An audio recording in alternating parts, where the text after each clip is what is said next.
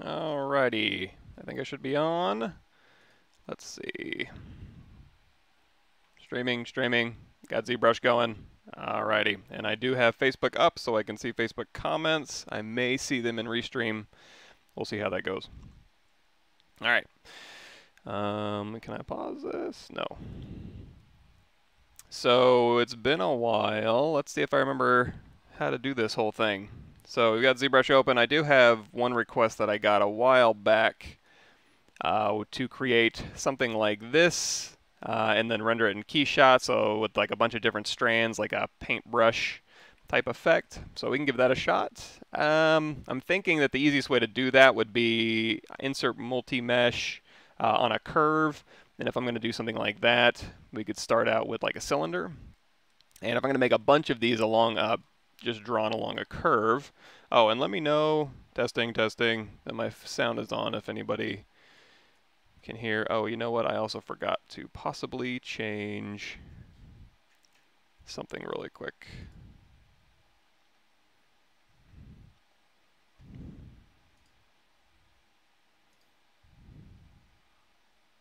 Pixel streaming. Let's do this. Cool, you guys can hear me, and I, I assume that the title was okay. It says, yep, okay, Pavlovich ZBrush Workshop. Alrighty.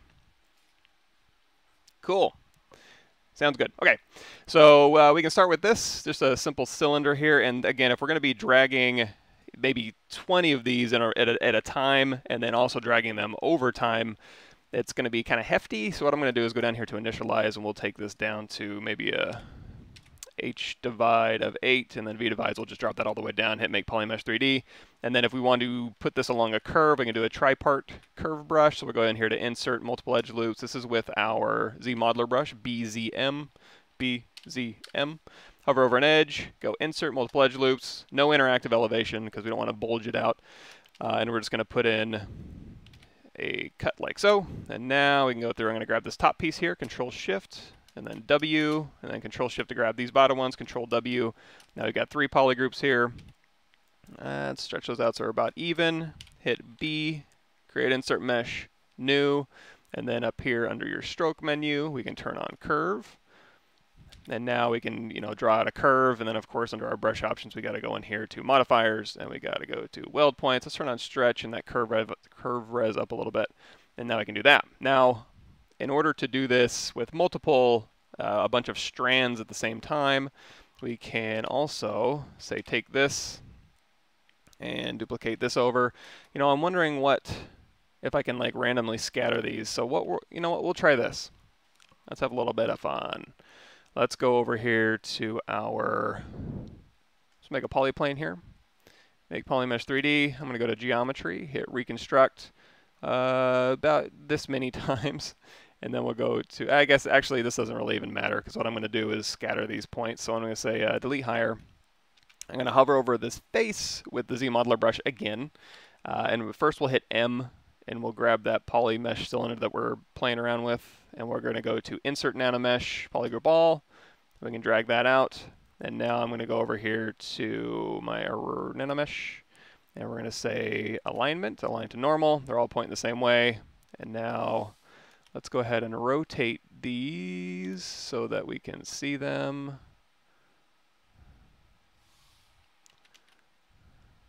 not Y not X, and not Z. Come on, help me out here. Okay, let's do this.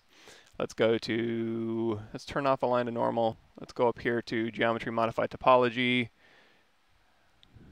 Um, align edge. And let's see if I can't. Oh, Y rotation zero. There we go, X rotation 90. So now they're all pointing up at me. And now if I want to randomly scatter these things, I can go up here to random distribution and I can just kind of randomly scatter these points in. So now when I drag these out, they'll kind of give me an interesting brush stroke. Uh, we can also cluster them a little bit more, I believe. So if we go in here and we hold down Alt and we just start painting, Um, or we go in here and hold down Alt and start painting these ones. I'm going to see if I can cluster these a little bit more. So now I do random distribution. That'll kind of group them a little bit tighter.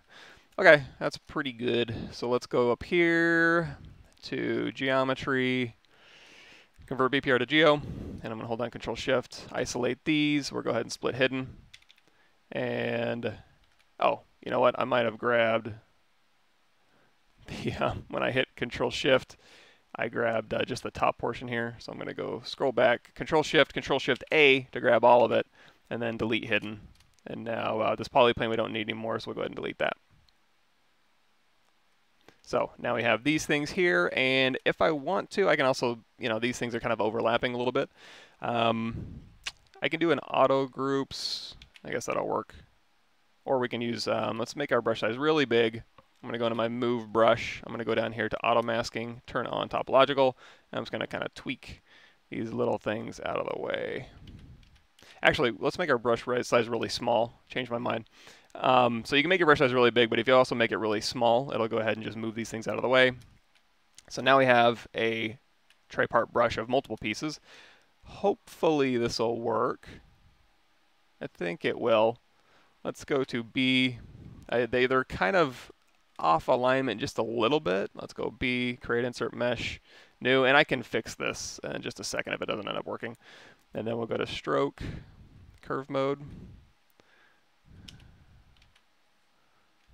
And then we'll go to, um, let's see, brush my weld points. Woo, make our brush size small here. Okay, that seems to be working. So if I grab the curve here,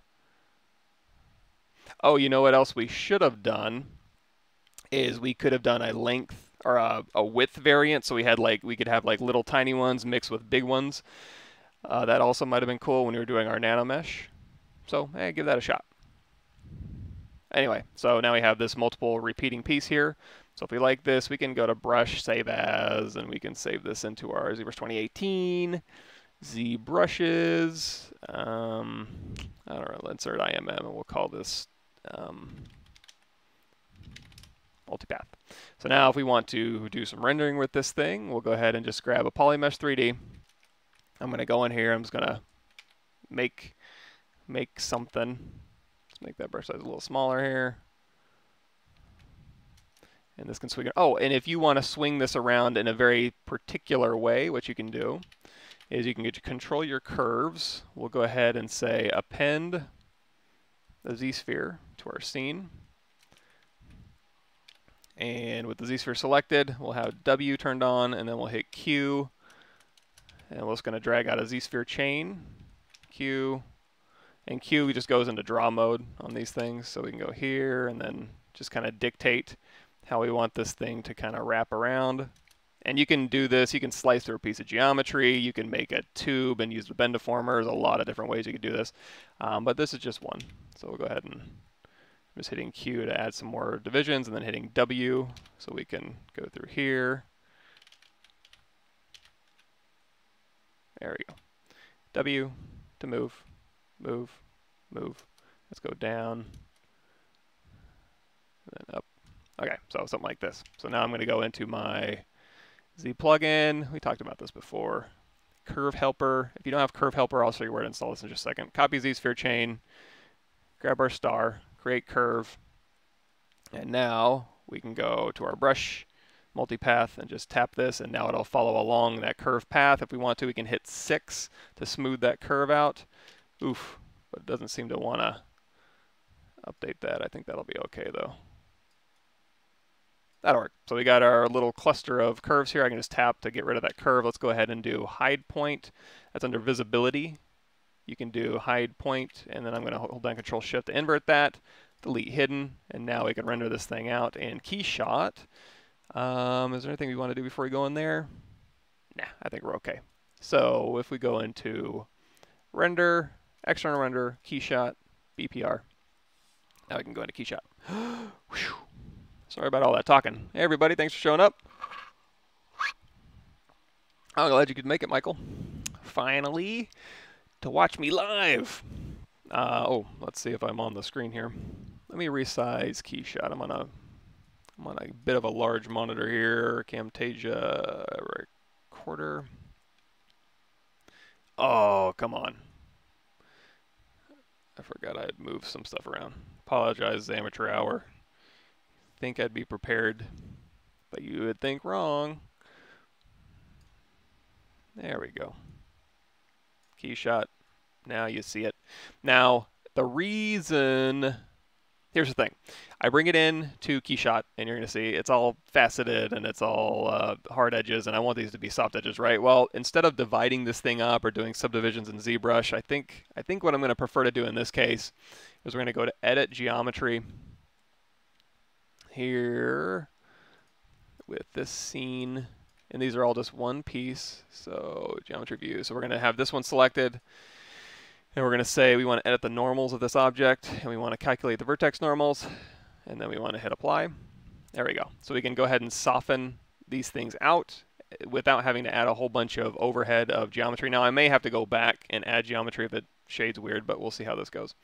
So now if we were to put on, and it looked like in my streaming topics it was kind of like a glass thing. Um, that's another thing too, is I should have before I came in, I could have split these up into individual pieces. I think I can still do that in KeyShot. Let's do this.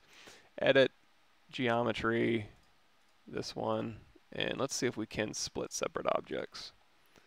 So you can do that in ZBrush, or you can just do it in KeyShot after the fact. Maybe. Let's try that again. Edit geometry. Split separate objects. Edit normals close mesh. Uh, oh, select this one, split all apply. Duh. So now all these are individual ones, so now I can go in here to say like a glass, and you can choose like just a colored glass or a red glass or uh, ridged glass. Uh, another thing too, you can go into liquids. If that's your thing, we can make a beer one. And on these ones, let's go ahead and change that transparency distance to like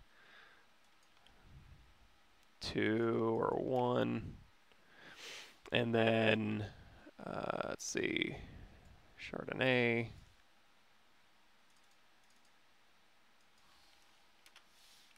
Uh, what else? We got some translucent. Uh, or you know, let's go to plastic. Cloudy plastics are kind of cool, but I want a clear plastic. We can play around with some of these. I don't know. And of course, I'm just throwing these on haphazardly. All different colors. This is probably going to look pretty gross. but uh, And then once you've got these, if you want to repeat any of these, you can go over here, go over here and just drag on from here. And now all of these will be assigned to the same object here. So we can grab some more Chardonnay, some more glass, some more beer. And Oh, you know what? Let me see. No, I guess that's right.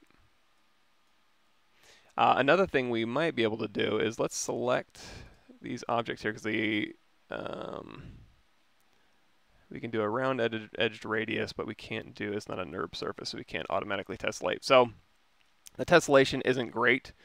So that would be something that I would probably want to go through and bring back in a slightly more tessellated object here. But let's go to jewelry, and this will bring in our caustics, and now it'll allow us to kind of render uh, through these things. Uh, if we want to get rid of the rest of these gray ones, we can go over here to our materials. We can say select object with material. It's like, oh, that's the part. So let's go to materials here, and I'm just going to assign this one to it, and then select objects with material and assign this one to it.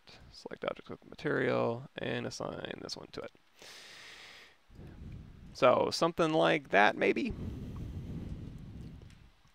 Uh, question, uh, hi, are you from Russia? No, uh, and I think I'm from, well, it's hard to say. I, I haven't done my lineage yet, but I think somewhere around Croatia, I think.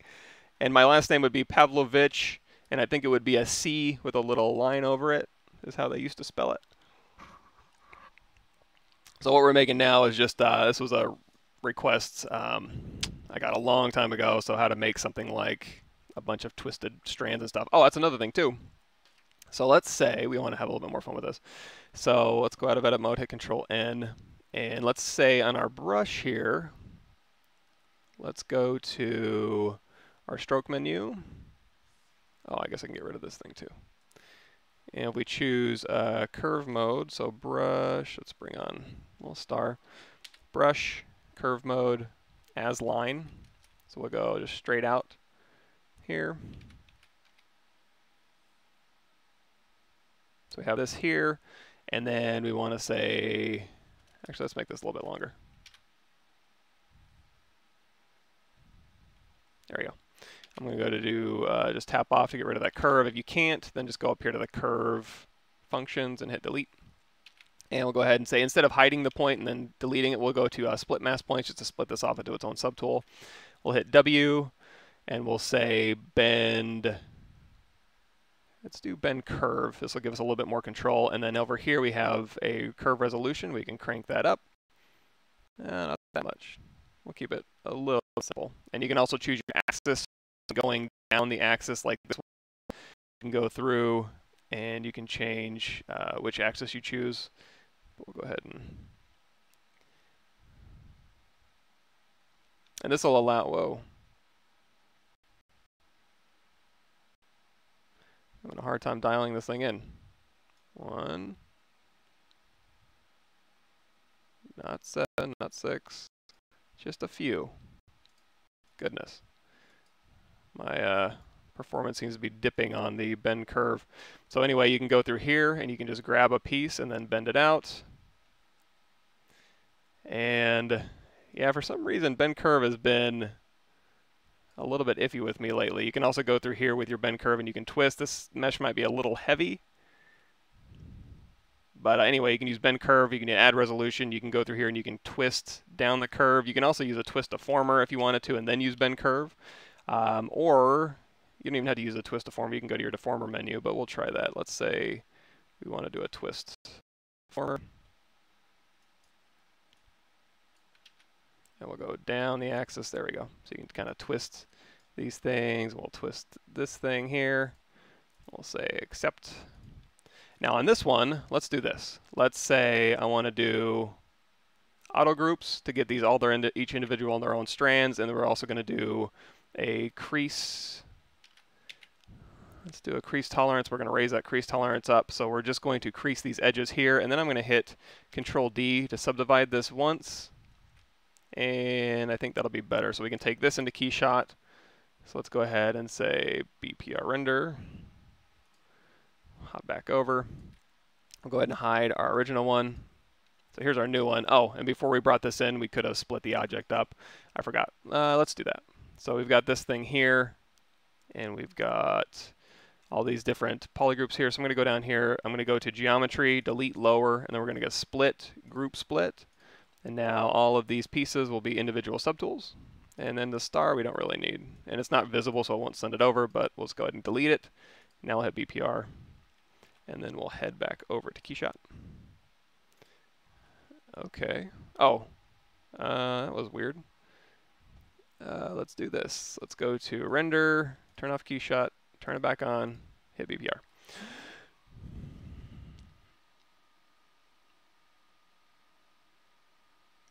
Yeah, and it, well, that's the thing though is, so with the bend deformer, I feel like I used to get better performance before 28. I could be wrong. Um, and I am I am on a new. I updated my specs, and I'm not optimized really to work in ZBrush necessarily. I'm on the, upgraded to the 2990WX here. So, uh, and it's optimized great to work with KeyShot. As you can see, we're using all 32 cores to render in KeyShot. So if I go up here, uh, we're actually only using 88%. If we dump, know, we'll dump this up to 97%. We can use all 64. I don't think it'll hurt the stream at all. Um, so it says 64 cores. It's really 64 threads, 32 cores. We'll bump it up to 97. Um, so now again, we can go in here to edit geometry. And then we'll grab all the, uh, we got to do this one by one. Ah, you know what? It probably would have been easier to go in here, do my normals, and then uh, split them apart in KeyShot. Eh, live and learn. So we'll do that. So to get these all back together, you can go through and merge these one by one, or you can go to merge visible. That'll be your merged option here. And now we can go through here and we can say BPR.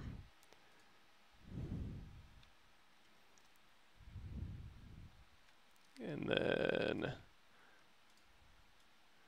maybe let's go file new. Oh, it did, it, it did bring it in. It just took it a second. Sorry, keyshot. All right, there we go. Give me a sec. Okay. All right, finally. And now uh, we've got this one here, and we go to Edit, Edit Geometry. Go ahead and do our normals real quick. Next, select it, calculate, apply, nice and smooth. And we'll go back to our plastic clear. Let's, let's narrow this down. We want clear, shiny only. And we'll go, oh, we got to split these apart. Sorry. One more time.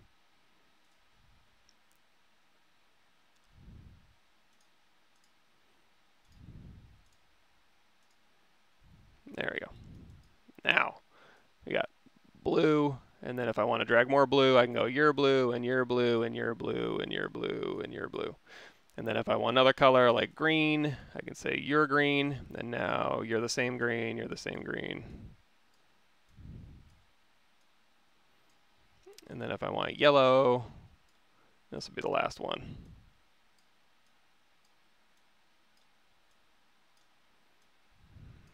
Alrighty, and then if we want our real render, um, did that split the caps off too? No? Alright. Uh, we can go into our lighting menu and we can say turn on jewelry and that'll give us our you know our caustics and stuff. We can go in here to our environments. We can say go to the basement, studio. Let's go to our environment over here. We'll say turn on a color.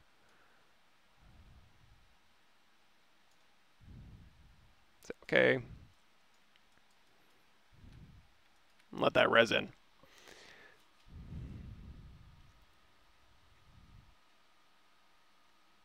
Okay, uh, and if I miss, oh, I forgot. If I miss any um, comments and stuff, just keep hollering them out. I, I don't mean to skip any.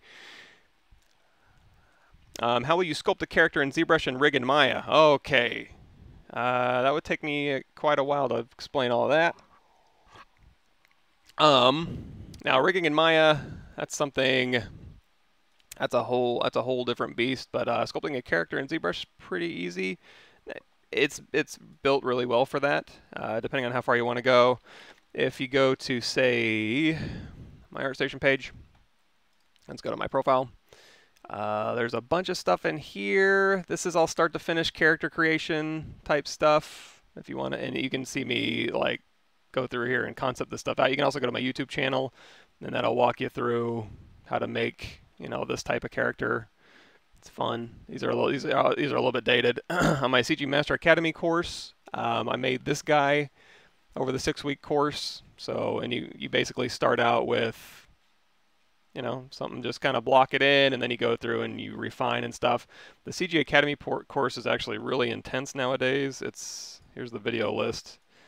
I got all new videos. Oh, I need to get the new videos out. I'm going to put Unit 0 out for free on my YouTube channel. It's 50, 53 videos, and then the rest of the weeks are all of these videos here. So a lot of content covered in that class. And it's not necessarily how to create a character, um, but there's a bunch of different ways to do this. Oh, speaking of, I mean, uh, I guess we did it here too. If you go to my, so I have my YouTube channel. And I also have,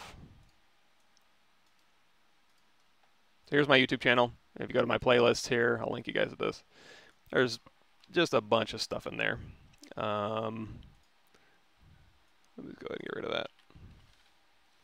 You can go there. And also, on this, where I'm streaming right now, is the Pavlovich Workshop. If you scroll all the way down, we start out with kind of making a character. We start out with um, you know, anatomy and then sculpting it up. Again, these are pretty dated.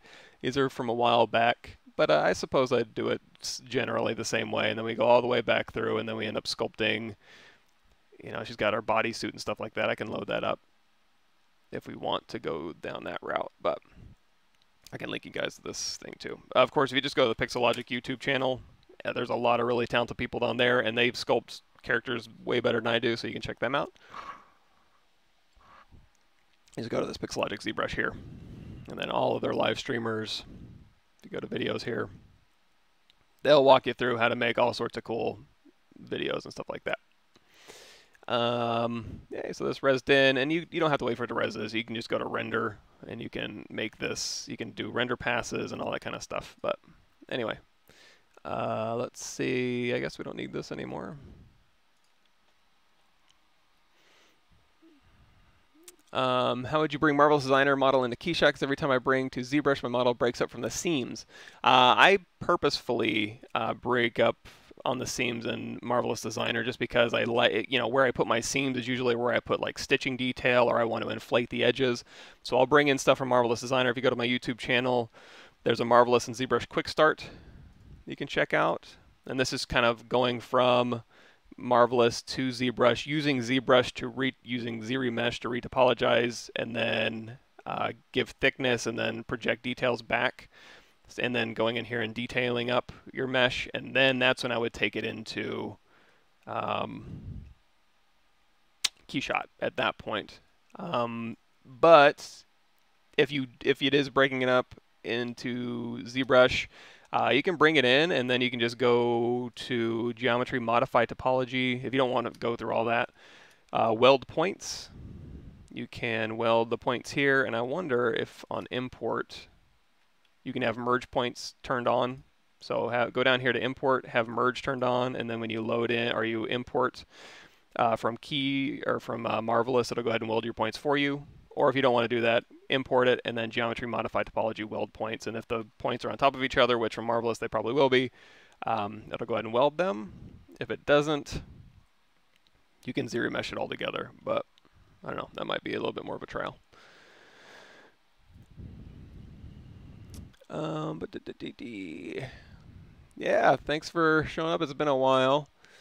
Um, yeah, the bend one, the bend one is actually it's pretty good. Like this is how I usually use it. So if I go in here to say, uh, I'll grab our trusty polymesh here, go down here to initialize, and then Q cube, and then here, and then insert multiple edges. loops. I'm, yeah, I'm kind of afraid to use it now on anything accidentally large. But if we hit W and then we go in here to bend curve, um, now it's nice and responsive. We can choose our axis and then we can choose our resolutions. You see, oh, it's nice and responsive, no big deal. You can go through here and you can curve this stuff around. And you can go up here to your smoothness. You can do smoothness on each individual one or overall um, smoothness on your on all the dots. So we'll go ahead and stretch this out a little bit here. So this is just a way to kind of go through and bend some stuff around. And then also, let's actually, let's change our curve resolution down. This might break it. Oh, it works fine. Okay, so if we have this, again, we can go through here and you can do a twist along the ear, along these axes. You can also scale it and taper it, all that good stuff. So it works fine on low resolution objects, but the higher the resolution, the more it just really bogs my machine down.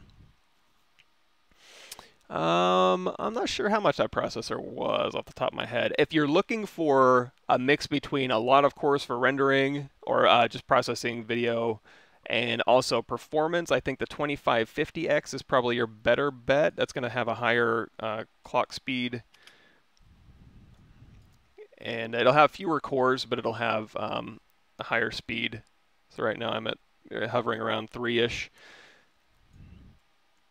but the 2950X has a little bit higher clock speed. Uh, I went from the 1950X, which is the original Threadripper.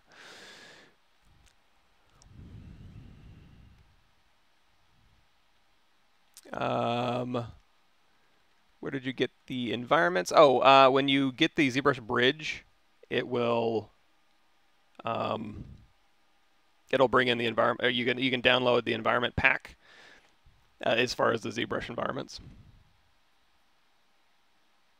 Yeah, uh, Video Nomad, I agree. Uh, another question for baking high-res models to low-res with multiple objects. Is the workflow any different if that asset needed to be animated? Yeah, yeah, yeah. Uh, let's wait for that to shut down. I'll load it back up. Um, watch this. You need get game dev videos, but the asset doesn't articulate the decimation topology change a lot of triangles. Is that bad for animation? Yeah, and if you want to do like Pixar style animation and emoting, then you're going to want to, uh, you know, go through there and plot that topology out perfectly. Um, and you can you can kind of if you go uh, I'm trying to remember when the last time we did this. I think on this one we did do, let me go to streaming. It's been a while. Old man, whoops. We went through and did a little bit of painting on this guy. Uh, let's turn off our... So you can go through here and you can use ZRemesher to get you a decent amount of the way there if you wanted to. Um, but you can also go through here and manually just retopologize everything uh, perfectly to get your edge flow and stuff for animation. So I don't know. And you can also use ZRemesher to start and then bring that into a ZSphere and then go and clean it up. Or you can use any other topology program in the world that you want to. Uh, but if you need to have very, very precise vert layout, then yeah, I would say manually like decimating or having a bunch of triangles isn't great. However, I would say that you can do this once and then on your LODs just copy those weights and then depending on how far away from the camera it is, you're probably not going to notice a ton of um, bad stuff going on, but you could also just use your LOD system to, you know, keep your quads decently. So might be a moot point. Uh, John says, just curious, have you changed a lot of your tools set workflow since 2018 came out? Or are you still using older methods like what don't you use anymore uh, that you used to? Um, I'm getting, I'm very, very much more into ZModeler. I don't do a lot of sculpting anymore. I mean, I guess I do. I'll do sculpting for like blockouts and uh, Dynamesh and sculpting for just kind of, you know, getting my ideas out. But yeah, I don't really, I don't spend a ton of time sculpting anymore, it seems. It seems like I do, but I'm also doing a lot more hard surface stuff, so that might be why. I do. I see. I see myself doing a lot more ZModeler stuff. I'm trying to remember of like 2018 specifically.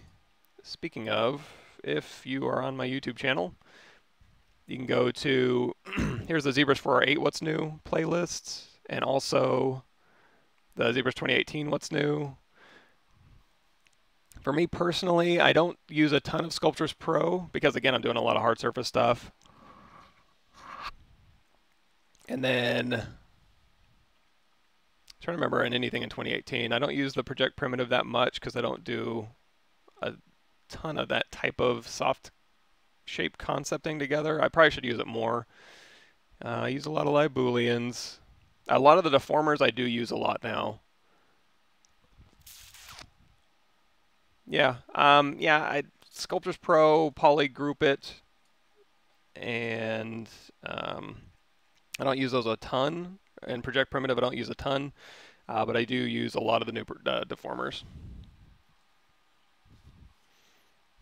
Um, for yeah, uh, yeah.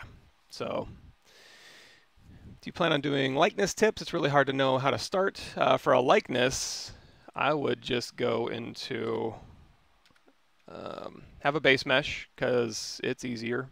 So go over here to Tool and NixZ Humanoid. My NixZ is going to be a little bit different than yours, but if let's say we want to grab the head and all the pieces here, and then we go to Split Hidden, and then we can delete the body. And I think I have some pictures on my desktop here, so let's go to Import uh, my desktop here. Yeah, and then we get, if you want to do a likeness, have a bunch of pictures of the head that you want to do a likeness from, and then go to texture, grab it, import it, drop that intensity down on your Z, uh, your spotlight, and then now you just want to line your head up. And let's go ahead, perspective turned on. Let's go over here to document, I'm sorry, draw, an angle of view. I'm going to change this like down to 17. I think that'll probably match that camera a little bit better. And now you're off to the races. So if you want to save these, or save these views that you have, I like to go into Movie, Timeline, Show, click on here. So if you're ever modeling and stuff, you can just hit the back arrow and the front arrow and it'll pop it back into place. And now you just got to go through. And here's the really fun part is meticulously moving all of this stuff into place. So I'm just kidding. I find this really tedious, but um, if you're into likenesses, this would be one way you could do it. Um, you can also paint through here, and it looks like we're almost we're almost there. And now you don't have to do this if you don't want. You can just take a base head, and I mean, you don't even have to take a base head. You can take a sphere and turn it into Dynamesh, or use Sculptris Pro and just sculpt out a head, and then go through and just eyeball it. You know, you have your reference up on the side, and then you're just going back and forth and just kind of looking at stuff. Um, but for my money, I think we're almost done.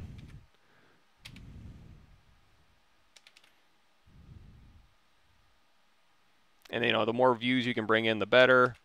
We'll have a little bit more weight around the mouth here. We can go into our clay brush and kind of build this up a little bit. So there's our likeness.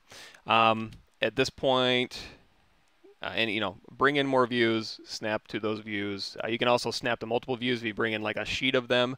You can go, let's go drag this off. I have a front view, and then a profile view, and then a three-quarter view, and then you can just use your arrow keys to snap between them as you're modeling it. So you can do that. And if you don't need this timeline anymore, you can turn off show. You can hit uh, Control D to subdivide this up. And then, oh, you know what? I guess I shouldn't have deleted those keys just yet. Because we can also, and this is for modeling as well as, you know, getting your likeness in there. You can go into your, I guess that lip line is a bit up. There we go. Uh, so we're going to go into RGB, and you can go through and you can, oops, paint on here. Let's turn off our polyframe.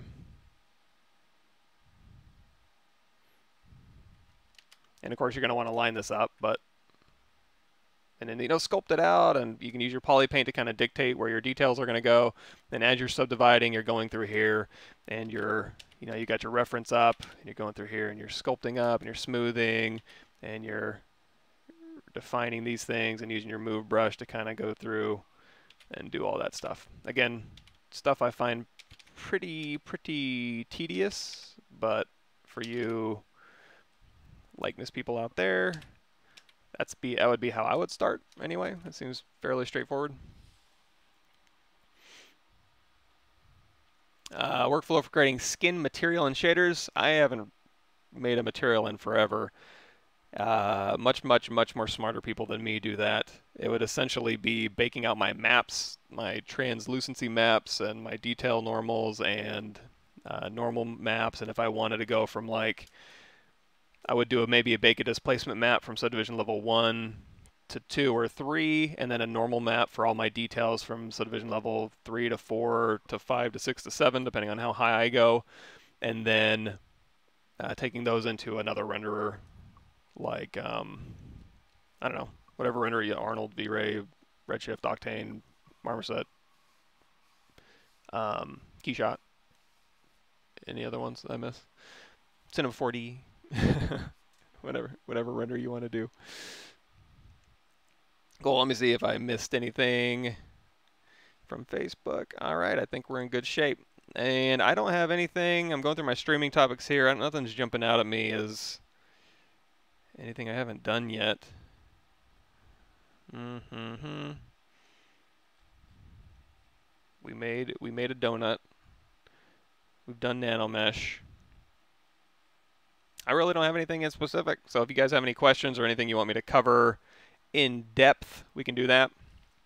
Um, also, if I wanted to have that reference up available for me to look at, uh, I can use see-through, and I can like see through to my desktop and have it back there. Uh, I have multiple monitors set up, so I can use Kuadro. Uh, oh yeah, Kuadro just got updated. If you guys use that program. Um, Kuadro reference viewer is now version 9 point something. Oops, 9.5. So you guys can check that out if you want to. That's my reference viewer I like to use. Um, And then also what we can do is we can go in here to texture and we have this texture uh, on here. So with that texture selected, we can go in here to our polyplane, go into edit mode, make polymesh 3D, uh, go down here to texture map, select our texture map, and then we're going to hold down um, under polypaint, polypaint from texture, hold down shift, and that'll go ahead and make our polyplane match the dimensions of our original image, and then we're going to turn our texture back on, and then we'll go over here and choose a flat color. So now we have a reference plane that we can put anywhere in our, in our scene. We can do Shift S, and that'll save a snapshot. So if you had a bunch of stuff, you could just layer those or plop those right into ZBrush here, go out of edit mode, and then go grab our head, go back into matcap gray. And now we've got those little reference image planes. You can also sample from these things, I think. So you can hit C, and you can sample color. So we can go color, fill object, and actually let's change skin shader 4. And you can sample this one here, and I'll turn that RGB intensity down. So you can go through here and you can sample from here to your object over here. Uh, any chance of an Unreal Engine workflow demo? Um, really, the only thing it would be, and I'm, I do not think I have Unreal set up on this machine. The only thing that would be different from my workflow, let me see. From essentially ZBrush to Substance Painter or ZBrush to Substance Painter to Sketchfab, it would be go to ZBrush. I would do my auto game res dev toolset thing, or I could manually do it, but that would be, you know, hours and hours worth of manual retopology, UVs, and baking. Uh, and then put that into Unreal. It would essentially be going into Painter, setting up either my layered material workflow so that it would be um, color IDs that I would assign materials for in Unreal, or if I'm just going baking 0 to 1, one off, um, I would go through Painter, and then in Painter I'd export to all my textures from packaged uh, for Unreal, and then really it's just like saving an FBX out and then just dragging that into Unreal, and then dragging my materials onto that. Um, so really the Unreal part is just dragging FBX into Unreal. Um, the more difficult thing would, the setup is the more difficult thing. Um, so I'd, I'd have to have something kind of ready to go to demo that type of thing. Uh, I, question, can you help me, broski? I want a 3D printed head that is two inches tall. Do I need to make details sharper? Um, that one, I would say make your details larger. Uh, I'm not a 3D printing expert by any means, but if we wanted to say, actually, you know what? I can show you, I can kind of show you something. This is a little bit dated, but if we go to my intro reptile creature. So we have this one here, oops, and let's hit control N on edit mode, hit F.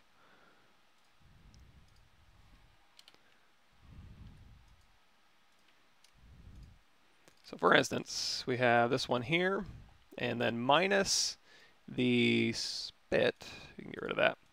Uh, this was 3D printed, and let me see if I can find that video real quick.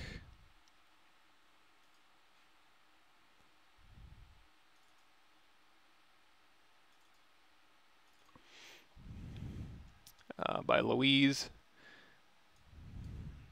So in my reptile creature series, there's a couple of videos on like 3D print setup and stuff. This is on the MakerBot uh, and you know varying degrees of quality, high, medium, and low. So, and we talk a little bit about that. If you're into 3D printing and you want to do cleanup stuff, uh, on my ArtStation page, you go to my profile, there is a section on 3D print cleanup. Uh, we, I printed these out, and also if you wanted to model these things, there's a section on stylized modeling if you want to just do cartoony stuff or super cartoon. This is like beyond stylized. This is like cylinders and stuff.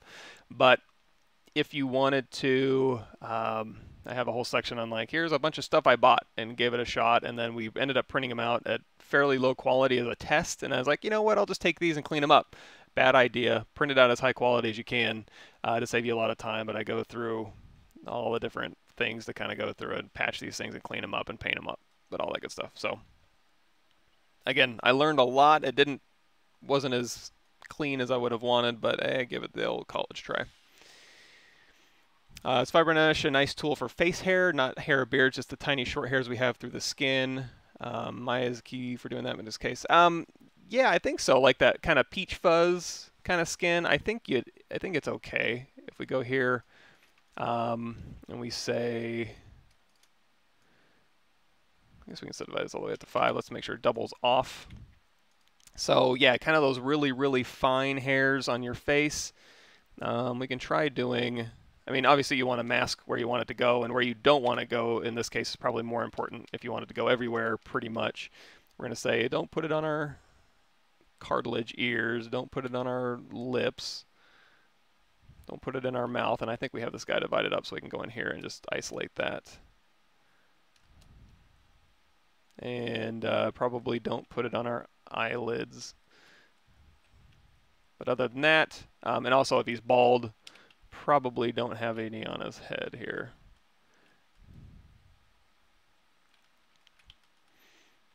And then if we go in here to uh, invert this, yeah, and then go over here to FiberMesh. And now I don't know the exact settings you would want to use, but we can say preview. and uh, there you go, we're done. Beautiful, perfect. Let's go to modifiers here, and we'll change that length profile way down. And then depending on how dense uh, you want these things and also the coverage, you can change those so they're really, really just tiny little meshes. And also underneath my masking, let's go turn off view mask so we don't have to look at it. And then now we have, you know, little tiny hairs. And also gravity's on, so I think all the hairs are kind of bent down. Um, if you want them to go straight out, you can change the gravity down to zero. I don't know if that makes a bunch of a difference, but at this scale, and then you can also change the max fibers if you want to have more hairs.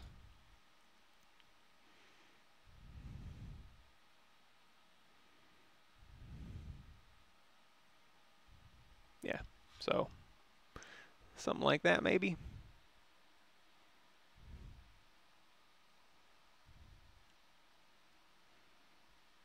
Uh, merge uh, any tips for merging subtools for 3D print? I lose a lot of details with Dynamesh and trying to go for more resolution. So what I would do is instead of doing Dynamesh, I mean Dynamesh is great for closing holes. Don't get me wrong, but if I load in,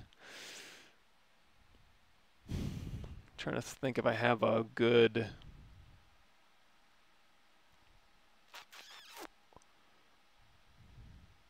A good example here that's not gonna really bog my machine down here. Let's go to the tools. Let's grab that demo soldier. So this, this guy here.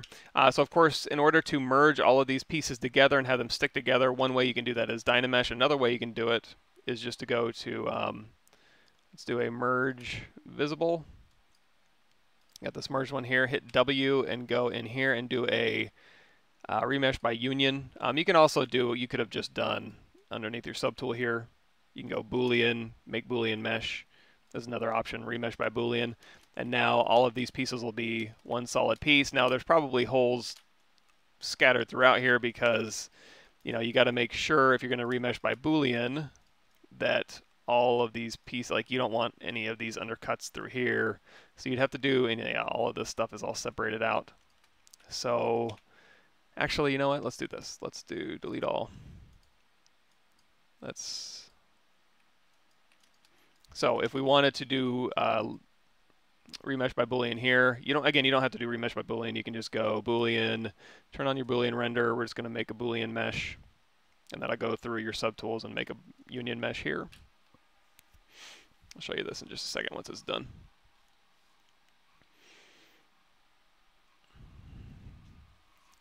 Yeah, as John says, uh, Painter Unreal setup is a pain. Yeah, and it and it Eh, especially when you get into the layered materials and you want to you have to be smart about where those materials go and how many you have assigned per object or assigned per part of your mesh. Um, that can get a little bit tricky for optimization purposes, but okay. So that remesh by union. So now, uh, if we go and grab this one, you're going to be like, okay, hey, it's all put together, right? Well, probably not, because if we go through here, you're going to see all those little scales in here um, or are lifted up. So I mean, you can go through here, and before you do your remesh by union, you can go through here and you can close up all those little gaps and stuff. That can be kind of a a trial, right? So another option you can do is, like you said, you can do Dynamesh. So if I do this, the lower the resolution I go with my Dynamesh, the more it's the more resolution I'm going to have, uh, the less resolution I'm going to have. So as I, you're going to see, as I drop this resolution down, you can see we're losing detail, but as I drop the resolution down, these spaces are becoming more and more closed. Now, here's the thing with the resolution. Uh, you don't have to stick with this resolution. What you can do is, before you start uh, losing your detail, duplicate this guy off, and then on this one, we can do our Dynamesh here.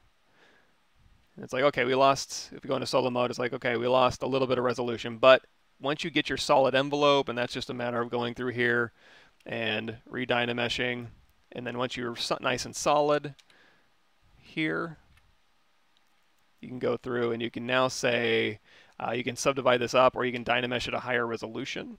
So geometry, um, you can hit divide and then you can just go up here to project all underneath your subtool. So you can have your Dynamesh to make your envelope and then you can project your details back using project all. Give it a second. And then we'll look at our whole situation. And then I'll give you one more technique that you can use. I was actually just recently doing this for my class. Still semi-fresh in my brain. There we go. So uh, now we've got our details back. So if we go and we're in solo mode here, so we're going to click on our original, and then we're going to click on this one. They look the same to me. So with this one here, uh, we can see how our holes are doing, and it looks like we still missed a bunch. So here's another option, and this it's just a lot of cleanup. So in, instead of doing all that, I'm going to take this one here and I think it's it is mirrored across the x-axis. So we're going to duplicate this off, and then with this one selected, instead of actually we don't even need a duplicate. With this one, we're going to go down here to remesh. We have the X symmetry turned on, so let's going to leave that on, and then oops, hold on just a second. Um, so we can remesh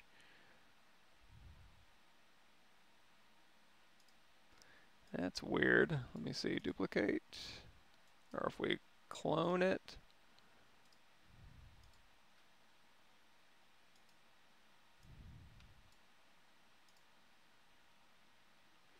Creating a 3D mesh from the current selected tool and skinning modifiers produce a mesh with zero number of vertices and polygons. Hmm, hmm, let's see. Let me go to Unify.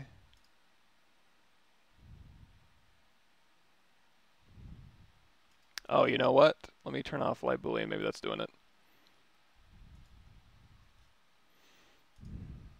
I'll give that a shot. Um, so one thing you can do is you can use remesh to give you a blanket over your object. So that's not going to have any holes at all. And then you can use project all and your ZProject brush to clean up any details that you may have lost. And then you'll have a very nice, concise um, let me just do this. Intro, sample files. And again, picking and choosing your battles, you probably don't want anything like that spit might not translate very well into 3D, um, but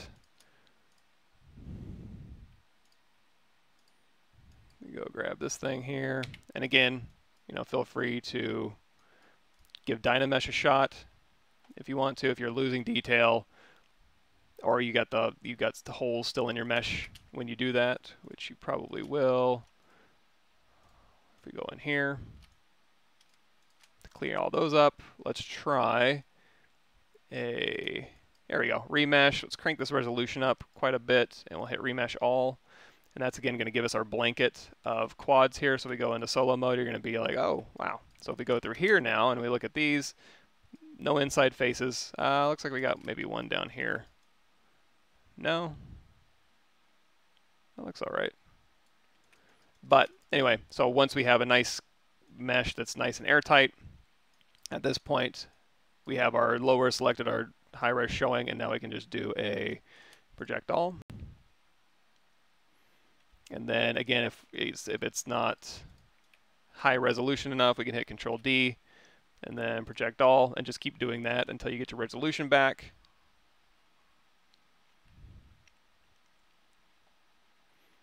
And now we can go through here. We look, looks much better. And then also we have our details back. And then now at this point, you can go in here to the plugin, decimation master, preprocess current.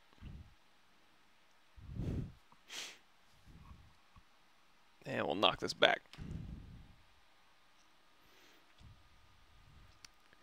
Um, so a question, if I was sending to a company, what I need to clean up? It kind of depends on the company. Uh, some It's been a long time since I've done any of this type of thing. In fact, I was just talking about this the other day.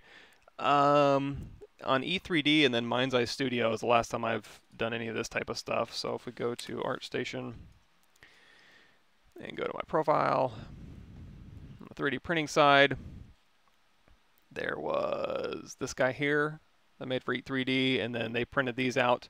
Uh, they sent these off to be printed, and they did molds and then cast them. So there's a bunch of different copies. So I have a painted version, and then I have like a cold cast version. They're about the size of my head. And then for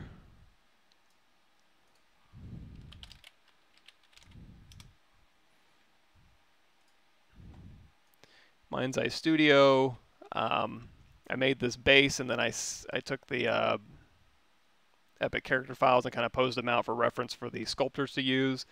So there's a Marcus Fenix, and I think there's there was three of them total. I don't have the other ones up, but I have a, a boomer right behind me. But um, these things are cold cast, so they're really really heavy. That you can polish them just like metal.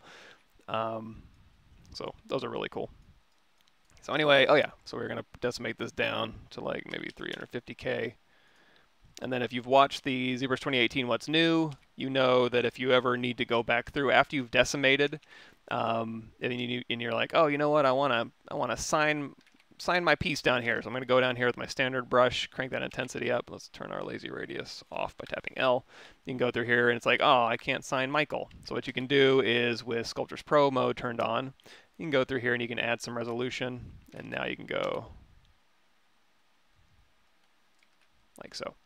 Um, also, well, yeah, that would be that would be my general cleanup process, and then the 3D print hub is where all your scale stuff. That and Scale Master. If you go to Scale Master here, you can watch Joseph Drust talk about all the Scale Master stuff that you can check out.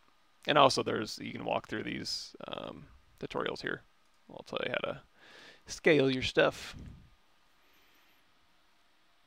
Do you have to do anything special when making blend shapes that will be imported into Houdini, or are they just regular blend shapes? Um, I haven't actually done blend shapes in Houdini. I would imagine it would be, yeah, as long as you don't change the vert order. There is a Z plugin, uh, Maya blend shapes, export blend shapes. Layers will be exported from the lowest subdivision level. I think you could probably use this, or you can just export out your um, manually and then bring those into Houdini later um, for example. And if you want to test them out, you can do linear interpolation in ZBrush using layers. So if we grab our streaming, let's go grab that old man again.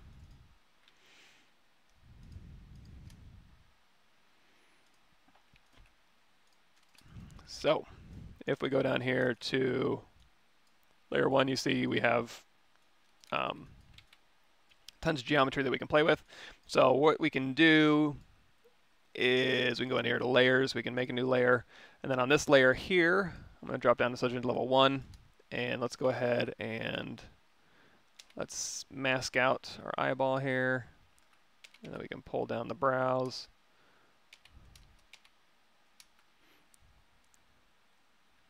Unmask, and then we'll go ahead and tap. Uh, oh, go back to subject level 5 and now we can just tap on this layer to stop recording. So now we have a layer here, so we want to make a new layer, and we can turn this layer off. Um, we can do maybe a smile here, so we got a new, oops, and ZBrush just disappeared. Um, you can go through and you can do different layers for different expressions, and then you can dial in and out. So you can do mad brows and smiley face and one eyebrow up, left eyebrow, right eyebrow. Um, not sure why that was a deal breaker. That was weird. Let me see if I can try that again.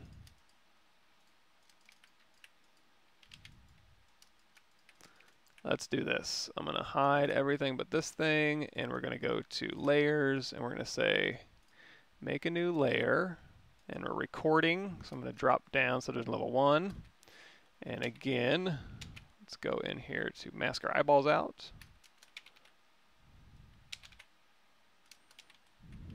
Unmask. Go back up. And then, okay, we're good with this layer, so we can turn it off. And then we're going to make a new layer here. So we're recording on this layer now. Go back to suddenly level 1.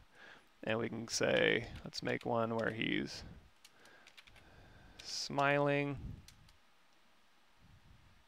And you can go through here with your inflate brush. You can inflate up the cheeks a little bit here. And it's going to affect the lower lids just a little bit. And the nose can come up a little bit. Get some good reference. Anyway, so here's our smile. And then also you can grab a little mirror you can have next to your desk here. Uh, so we've got these, we can tap off here. So now we have a smile we can dial in and out. And let's go ahead and say, let's make it creepy. So we can say how much smile we want. You can also go with the opposite. Uh, you can also over crank it if you want to be really smiley or really frowny. Obviously it's probably going to break here, but you can have test those out. And then, yeah, when you use the Z plugin here, um, Maya blend shapes, you can export your blend shapes. That'll just essentially export out your lowest resolution. I'm trying to remember if I've ever actually done that or not, but I think that's how it works. Uh, and here we can also go all lower. And then we'll turn off our poly paint and we'll bring everything back. There we go.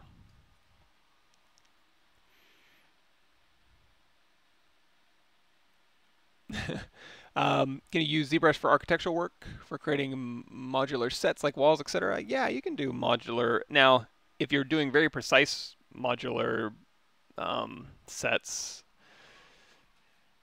you'd have to be careful.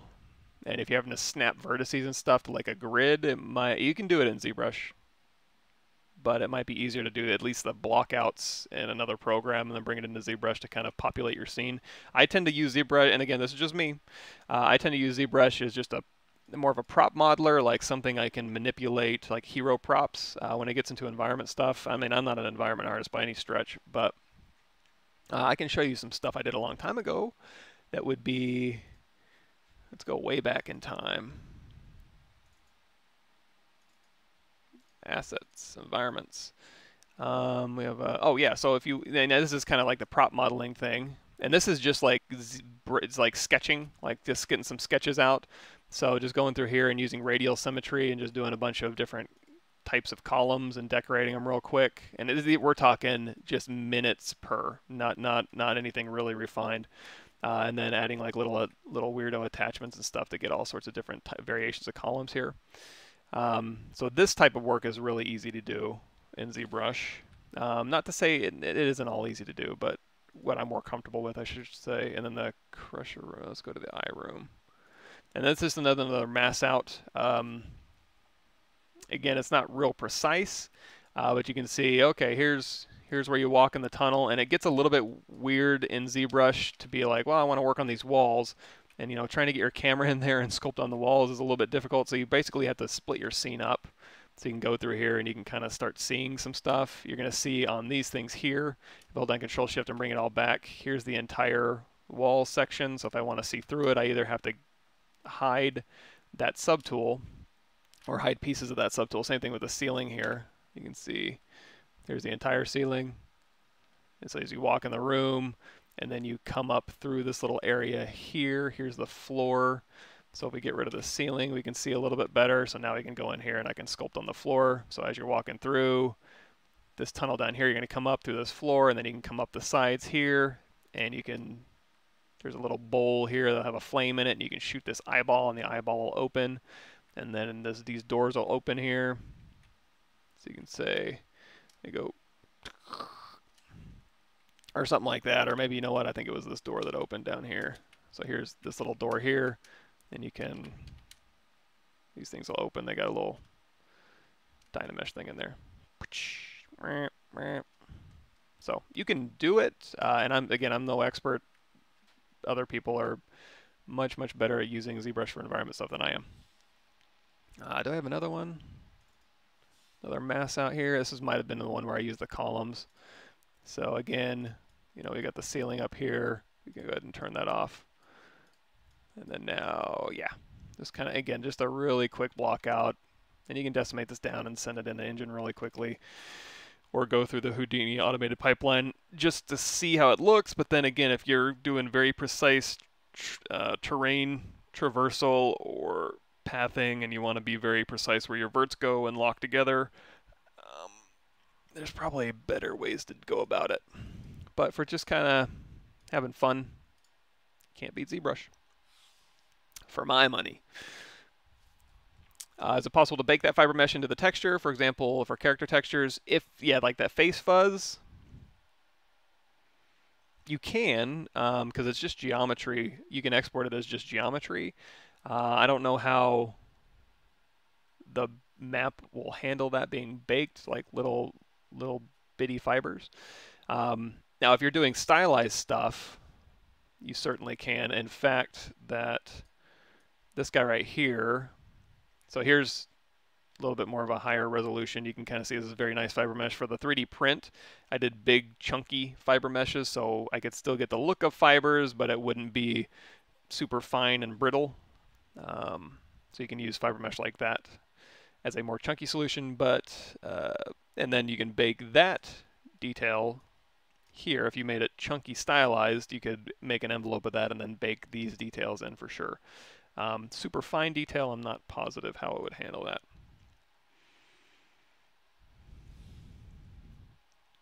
Uh, if you think external application like Blender would be better for creating sharp armor pieces, uh, you can use anything for sharp. I, I, can't imagine any 3D program package nowadays that can't do sharp armor. Uh, Blender's a fine one. Uh, in fact, just recently I was on uh, with Jerry Perkins doing a, a, kind of a live stream. Let me see if I can find that. Um,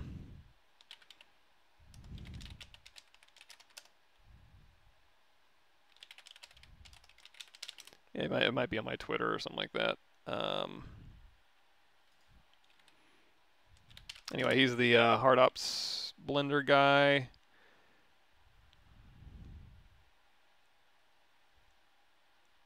Yeah, I don't know. I'd have to, I'd have to go through my Twitter to find that link, but uh, you can you can go look for that. Um, but yeah, any, I'm trying to think, yeah, any any program should be able to make hard surface armor. I, I prefer ZBrush just because uh, it's fun, uh, but that certainly isn't to say you can't use whatever you want. Uh, how do you understand, see primary, secondary, tertiary forms from concept art of characters creatures? Um, that's just kind of being mindful, and it's, I'm not an expert at that either, but uh, as you're going through and I'm trying to get heavier into the design side of things. I've been on the workflow and pipeline stuff for many, many years, so I'm revamping the design side of stuff. But um, for I guess it's just being mindful uh, when you're looking at even if you're sculpting somebody else's stuff or using somebody else's concept, being able to go through there and look at a concept and determine why it's successful or why it's appealing, why their material breakup works, why it's got good weight and balance and structure and form and again all those things that make something appealing just kind of studying that from people you really like uh, through whatever resource you want to find those people's work on Pinterest or ArtStation or CG Society or whatever their website. Um, yeah, I wish I had a better, more concise answer for you, but Um, how is scale handled in ZBrush? Like you want to create a screw port or a hole at a specific size. So you can do, there is that new IMM draw size um, option here. You can set it to however many millimeters. So as you set your IMM draw size, you can set it for an exact size and that'll keep it Um, the same, and that's if you want to keep it like if you want to print it out for jewelry or something. Um, as far as so scale in ZBrush, if you go through the Scale Master, he'll Joseph Drust will explain it a lot better than I do. But essentially, what it is doing in ZBrush is whenever you bring in an uh, external object from like Fusion 360 or Maya or whatever, uh, if you go down here to your size, you're going to see Chops McGee's head. The size is set to three. So ZBrush tries to keep this around two-ish, and then on export, depending on what you brought in or how you brought it in or what scale it the unit scale, the generic unit scale you brought it in at as an OBJ or whatever, um, it'll set this scale to compensate. So in ZBrush, it tries to work around these sizes for all, so all the tools work correctly. And then on export, it'll re uh, evaluate or it'll export based on uh, what it was brought in as. So if I have a, do I have a import STL from my desktop here? Test STL. Oops. Let's grab this one. Okay, so this is from Fusion 360. Let's see what scale we're working at here. Uh, okay, so my size is at 2, and then on export, it's going to scale at 55. So you can see ZBrush brings it in and tries to keep it around 2. This is from Fusion 360. So you can see there's my nice, whatever, Boolean mesh I made in Fusion 360 with the chamfers and the fillets. And then uh, on export, it's going to scale it by, it's going to multiply by 55. So that's the multiplier to get it back to the scale you're at. Now, again, you can use Scale Master to set the scale to whatever you'd like. And then for your insert mesh brushes, brush insert industrial parts here. Let's see if I remember how to use this. Phillips type. IMM draw size, set IMM draw size to 5 millimeters. So,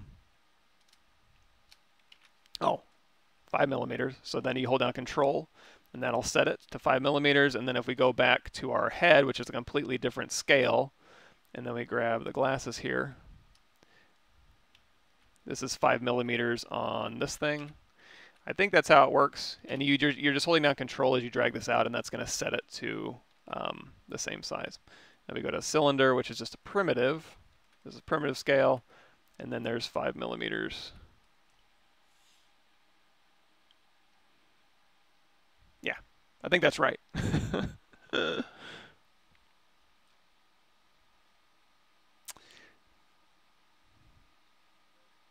Uh. John says, I find when making modular lashes like snapping walls, I'm always afraid the edges would shrink a tad from Maya to ZBrush. So one thing you can do in ZBrush, if I remember correctly, um, if you have a cylinder here and you're subdividing up, so it's like, okay, we're going to go, let's set our crease, and we're going to go Control D, Control D, and then we can uncrease all and then control D again to get a nice bevel on there. And you're right, if you go back to subdivision level one, oh no, my vertices changed. So before you do that, um, there's a subdivision cage you can set. Cage button press, ZBrush recalculates placement of the base vertices so the object conforms to its pre-divided shape here. So if we go through here and we say crease, and then as we subdivide,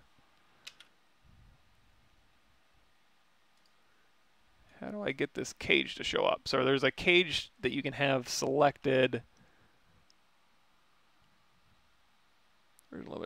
Restored if the cage button provides a means of approximating it is inactive in the highest resolution mesh is selected. So I wonder if we have to go in here. You can also go in here to morph target. We can store a morph target. Um, and then as you subdivide,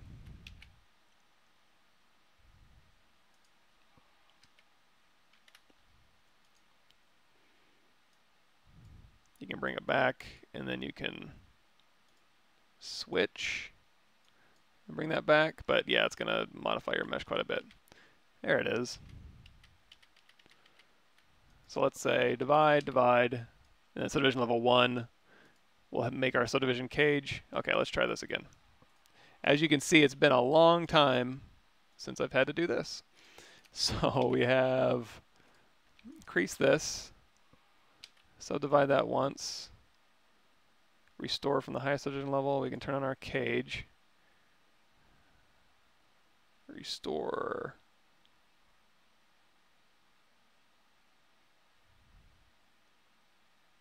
Hmm, hmm, hmm. Something, something. Look that up. I don't know.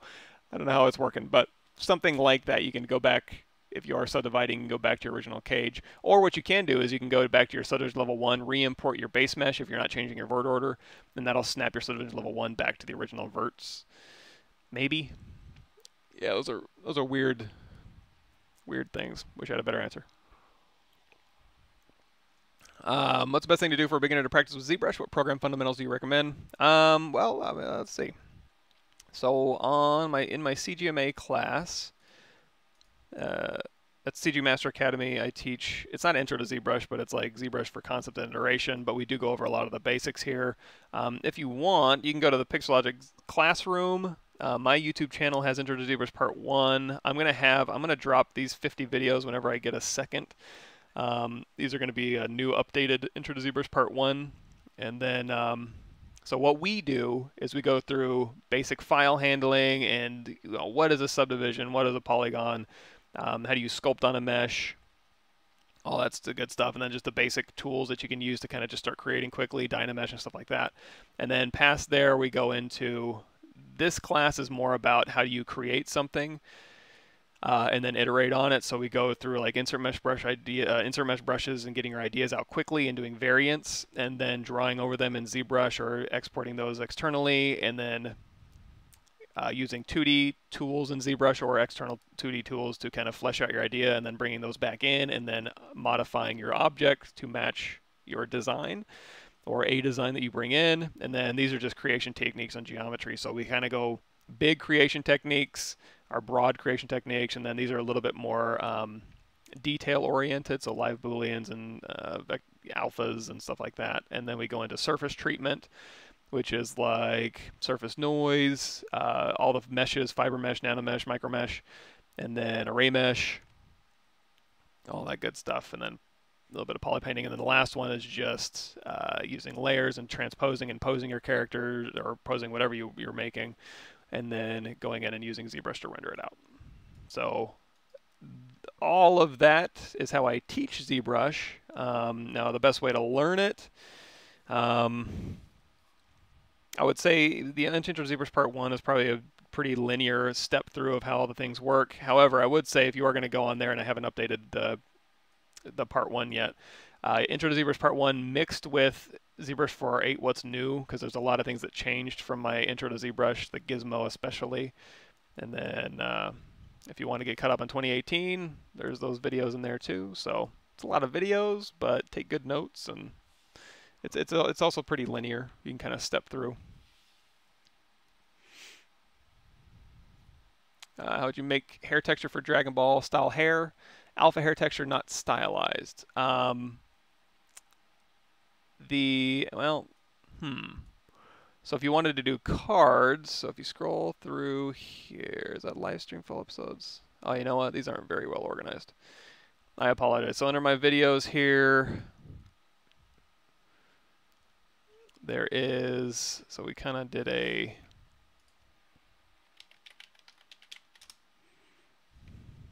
so here's Dragon Ball Z hair creation.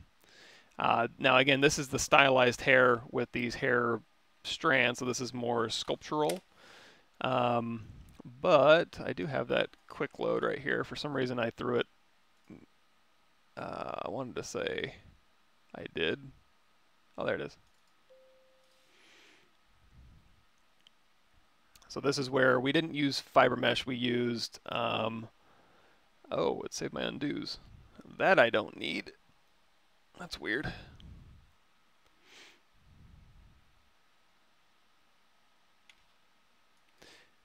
This is where we did this type of hair. Um, and you can watch that video. As far as like alpha cards, it would be You could do the same thing. It would be a little bit more more like this, where I would do something like, let's see. So for that hair, and I wanted to do alpha cards, uh, the easy answer would be, where in the hell is the star? There it is. So we're going to go to initialize, and then QCube, and then um, Let's go ahead and make, so if you just wanted to do hair cards, you know what, here's what I would do. So we're going to go through here, we're going to say bevel, edge loop complete, and then hold down Control Shift, and then hit Control W, and then hit Control W, and then I'm going to rotate this thing 45 degrees, and we're going to B, create insert mesh, new, stroke, curve, on, brush, modifiers, beep, boop, beep, ramp. Okay, so there's our hair, hair starting. Um, and then we can change this. So eventually what you could do, and you could use the exact same methods for creating this. So in that video, we go over like, here's the basic shapes, and then you can go through here. When you're doing hair cards though, you probably don't want to taper them because you would taper them in the alpha so that your alpha cards would kind of taper to a point. Uh, you want to keep your hair cards kind of block straight, I think. Um, so if we grab this head here, and uh, you know what, we can we can just use these. So there's our sweep here. And there's so there's there's our stylize where we just it's the exact same process only underneath our stroke menu. We have curve modifiers here. You can do intensity and size. We can go thick to thinnish. So we go back to our head here. So this is our hair cards. Now it's tapering off. So you can use that. But let's reset this and we'll just turn these off. So this would be where I would start. And then you can, you know, bring in guides, cones for guides or whatever you want to. Um, I can just use these for guides. So I'm going to put in a hair strand here and you can hit six to kind of smooth these out and then do this. Let's turn off snap. trying to get these to straighten out. Okay, so, uh, and if also if you want these to be embedded, that would be under your brush depth, you can embed these things. So we can just tap this one. So now it'll be embedded. You can tap off and drag another one here. Um, tap off, you can hit W, you can control drag out a copy, and you can move these things around. So however you want to create these things, you might be saying, well, these aren't really hair cards, are they? And they're not.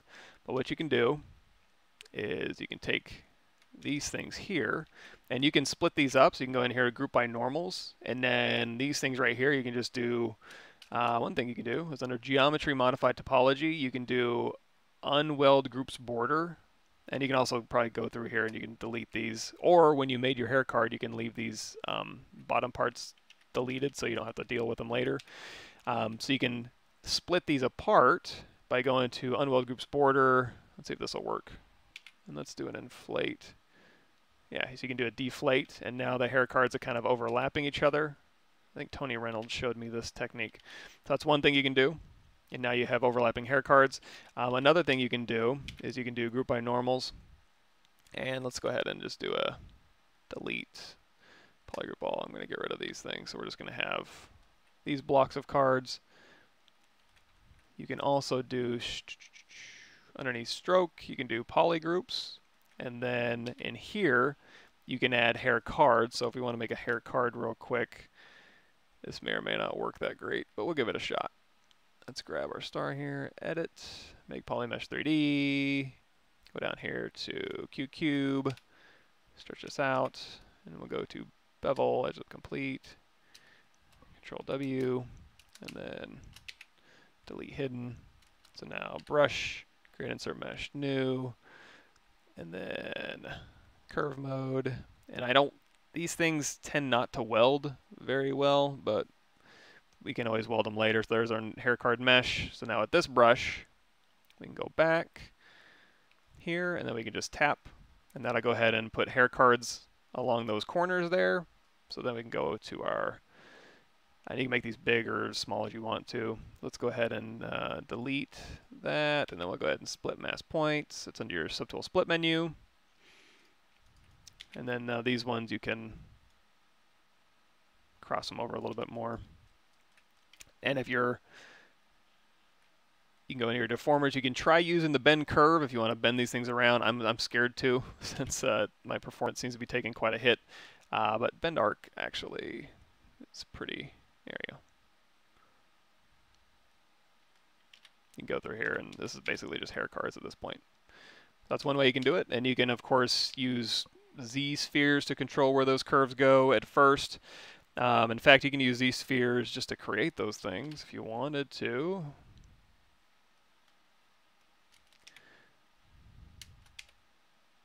Actually, let's scale this down. Q.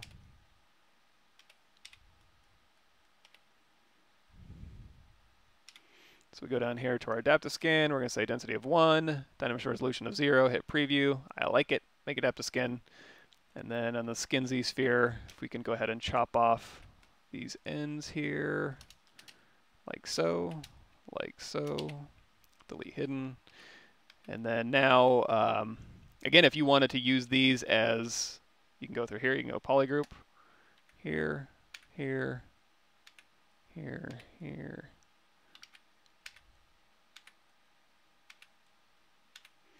So now we can frame our mesh and then use our hair strands to kind of go through and now we've got hair cards along those, hide point, like so. Or you can even simplify that. If you wanted to make this just like boxy cube, you can go to Insert, ZModeler Brush, Insert Single Edge Loop, and every other one you can just get rid of. And now it's a box, and now you're kind of kind of back where you started. And you can also go through here, you can do polish by features if you want to kind of round these corners out, or if you really want to do it, do open circle. That'll really smooth that down, and then, then you can go ahead and do all that stuff.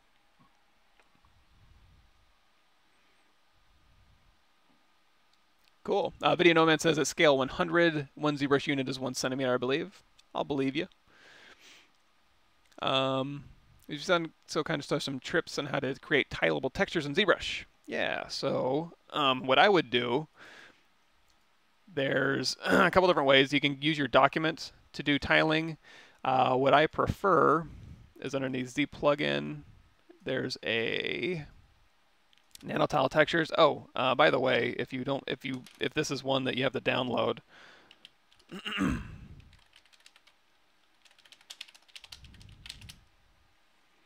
just Google Pixologic downloads, go to Download Center, you can go to ZBrush plugins, and then you can just download all these plugins, Ringmaster Nanotile textures, I think you have to download, and then you install them by throwing those files into Z startup, Z plug 64. You're going to put your data folder and your Z script in here, and then when you restart ZBrush, you'll have nanotile textures, and then um, you can on even on my channel, I believe.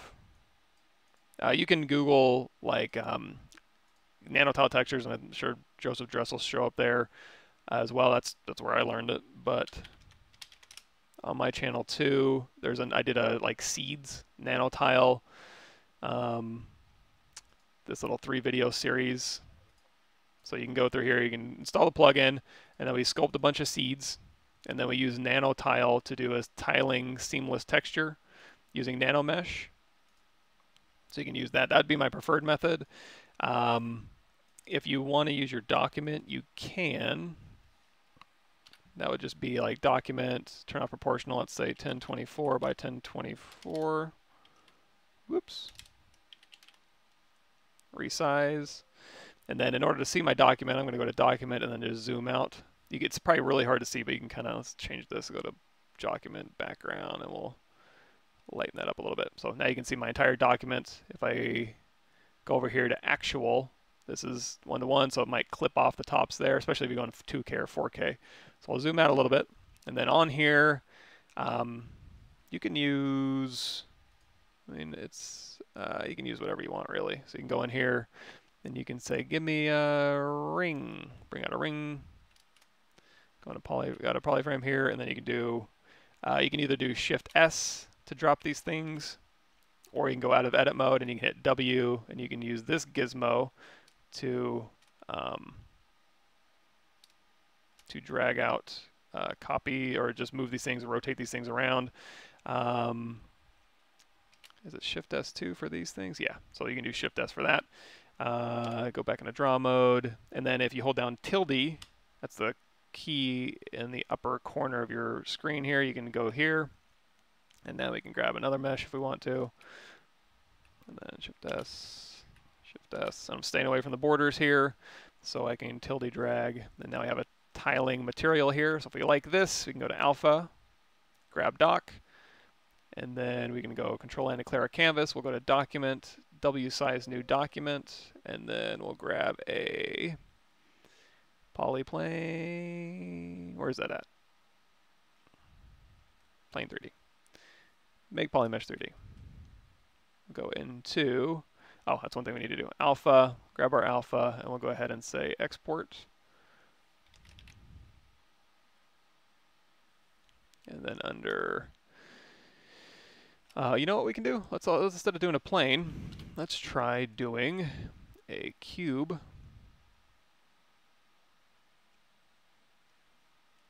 We'll try this. Let's do, actually we'll make a polymesh 3D. I'm going to make it simplify this cube. Uh, initialize Q cube. And we'll do under UVs, is it UV planar? AUV tiles.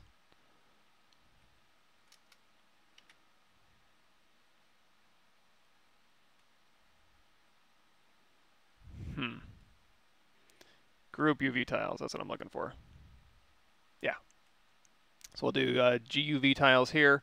And now if we go down here to our surface noise. We can go grab that alpha.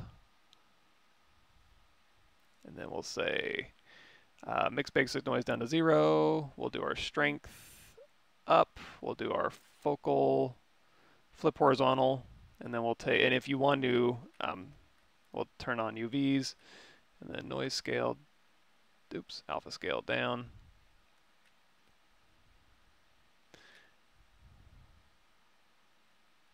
So now what we can do, uh, you, so you can just have this assigned, and then when you go in here to BPR render, um, that'll show you what it would look like displaced, and you can also go in here and you can say, take this focal shift, nope, sorry, not focal shift, uh, offset down a little bit, and you can get rid of anything that's a, uh, would be a black, or your document value, it'll get rid of, and now you can BPR render this.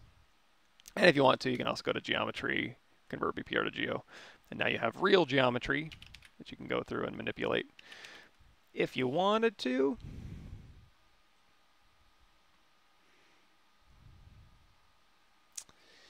Um, yeah.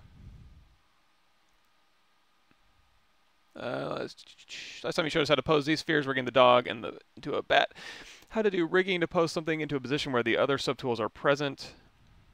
Um, posing that bat on a tree. So, okay, so you wanted to like, you have a ZSphere rig on an animal, and you want to pose the animal out, but then also go and put it in a tree. Um, ZSphere is the only way you can kind of, and it gets weird.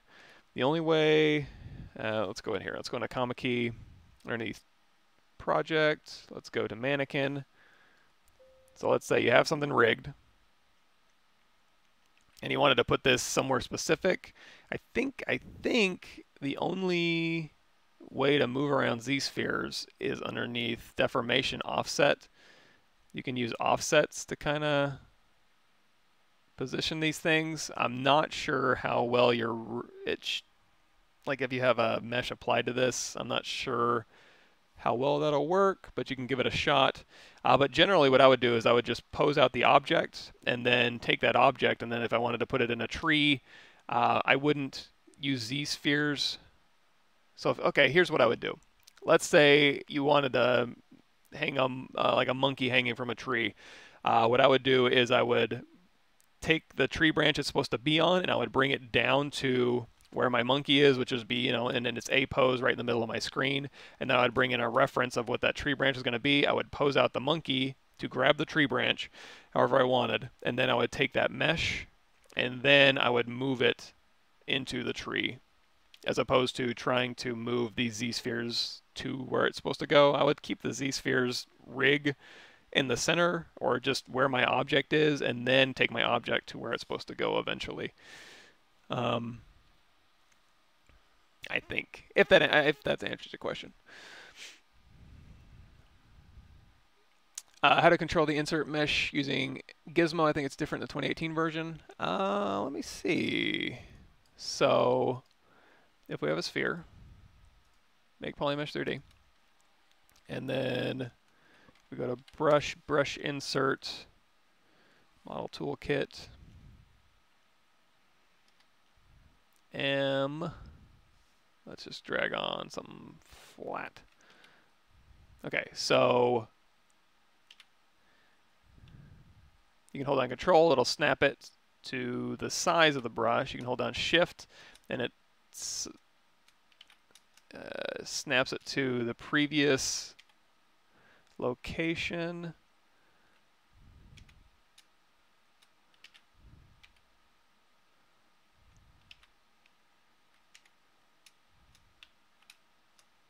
Huh. Um, I know if I want to force it towards me, you can use the picker menu. It's been a while since I've dealt with this. There's the orientation over here. Um, you can turn this on, and then no matter where on your object you drag it, it's always going to be facing towards you because this is the orientation arrow. Um, continuous or orientation is going to pick up the surface normal. Um, let me think. Control the insert mesh, insert angle using gizmo. Eh, there's some tickle in the back of my head. I'd have to go back through and... Hmm.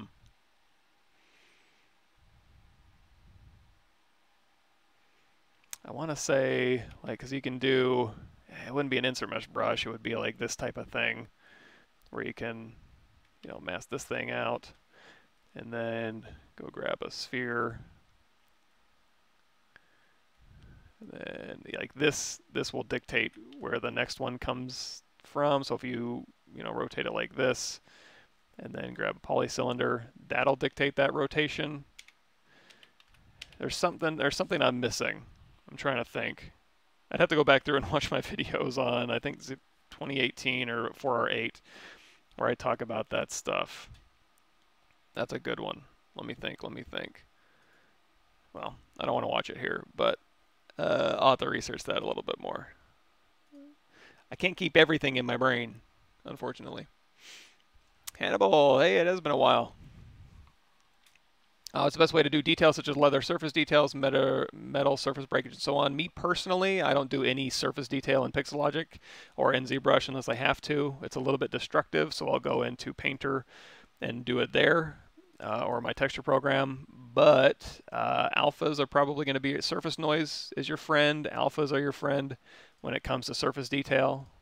So if it would be like, for instance, you can go into surface noise and you can turn on noise and then in here you can change the scale so you can go through here and you can make this kind of noise uh, if you wanted to and then apply it to your object there's also if we do noise plug there's uh, speckled stone spheres. I'm trying to think. Actually you know what? Let's hit cancel. Let's go into our lightbox noisemakers. Let's see if there's anything in here that's interesting, like a like a fabric.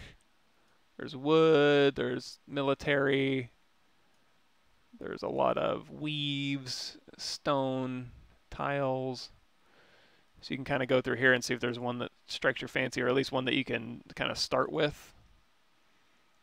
And then you can go in here and you can edit uh, the noise that they have applied, although this is just an alpha being brought in. So here's this type of noise. You can use, if your object has UVs, you can use the UVs and then change the scale here. That's one way to do it. Um, you can also go through here and you can say, uh, this polymesh 3D, subdivide this up, and then you can use alphas to do that kind of detail. And you can spray alphas if you wanted to. Uh, in fact, yeah, like if you have, here's leathery skin. Um, oops. Let's try that again. Here's leather. I'm going to go to my standard brush. We're going to clone this off, and we're going to grab that leather skin. We'll go to drag rect. You can use this. Let's drop our Z intensity down. Hold down Alt. So there's some detail stuff you can do. You can also uh, spray it on. So you can go to spray here.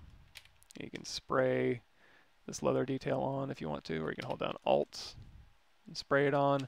You can also use simpler stuff like this one here. Can go through and you can use this to kind of spray on for like leather detail and stuff like that. And you can also, if you want to be safe with it, you can say, let's subdivide this up, and you can add, or if you want more options, I should say, you can go in here to layers, and you make a new layer, and then also, what am I thinking of? Uh, morph target, store morph target. So with your layer active, you can go through here and you can say, okay, here's my leather. And then now if we're done, we can go to our layer here and it's like, you know what, that's too heavy. I want to dial that back. Or you know what, I wanted it to pop out. I forgot. Or it's not heavy enough. I want to crank it up. So you can go through here and dial that in. You can hit bake all. And then if you decide, you know what, I didn't want it to go everywhere, so I can go through here, I can switch my morph target. I can go to BMO to my morph brush, and then you can go through here and you can morph in where you want it, or you can hit switch and you can morph out where you don't want it. Um, and you can surface noise by mask if you wanted to, so there are a couple different ways. How do you make a VDM face sculpt? Uh, I would use, well, I mean, uh, if you just want to sculpt it, that would be underneath your tool project, miscellaneous, uh, go to the brush 3D template, and then in here, you would just be I know, I know. Standard brush. X symmetry. You can go through here and you can just sculpt out a head. Let's turn off this. Smooth. Stronger. There you go. So you can go through here and you can sculpt out your head if you want to and then create a VDM from this. Uh, it takes a while. Um, if you remember on my channel, there's a Houdini VDM. We can give that a shot real quick. So we can say, instead of having to sculpt out a head or project a head with a mouth bag detail and stuff, you can go into, hold on a second, range. Let's go into our comma key tool. We can say, there's a project. Actually, you know what? Let's do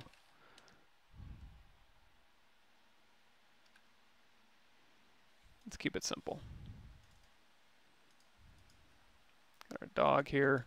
Um, actually, you know what? We'll do a head. Because we do it head, we can do a head. It's not impossible.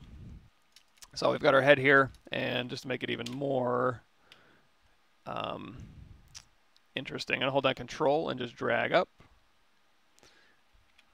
And then invert that, and then let's go ahead and turn off perspective and go to mask lasso. And let's control tap and then rotate this down so we can have a mouth bag in here. So now projecting this through that VDM plane, you could you could capture this as an alpha and drag it out, but it's just going to be straight back, and then you'd have to go through and do a lot of sculpting. So what I would do, I think, is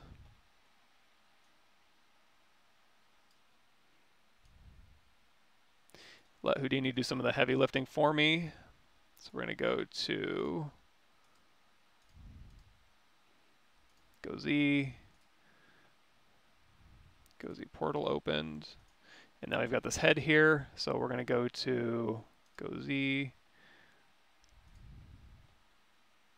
got our head, file, import, Houdini digital asset, and this would be the vector displacement plane.